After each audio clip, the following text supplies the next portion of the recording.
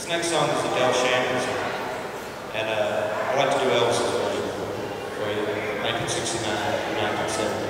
Runaway.